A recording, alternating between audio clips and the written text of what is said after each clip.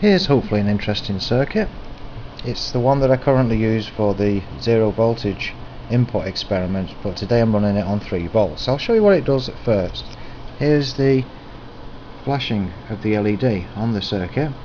If I bring a load to it, which is this LED here, you can see the flashing stops when the LED is near. If I remove it, the LED starts up. We bring it toward.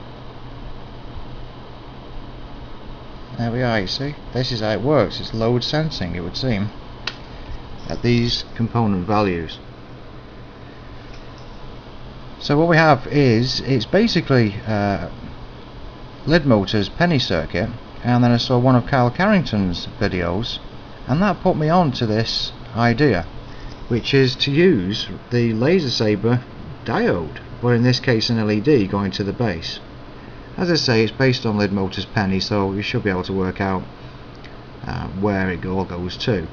I've used inductors in this case, which are of 220 UH, and uh, the transistor is a C1815. I've got a permanent resistor there of 680k, and I've changed the capacitor, the electrolytic that goes across the supply to a 0.1 UF. It also reacts to voltage changes too. So if I go from 3 volts to 4.5, now the light is on.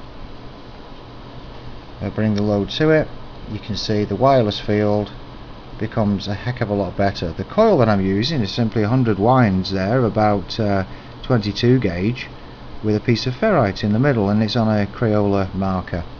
As you see, if I go to 4.5 we get a standard wireless field which isn't too bad at all off this block of aluminium here which used to be a PC heatsink.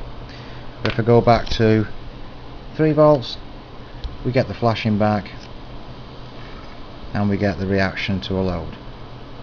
There we are. So hopefully that one's of use to some people. Uh, thanks again to Lidmotor for the original circuit.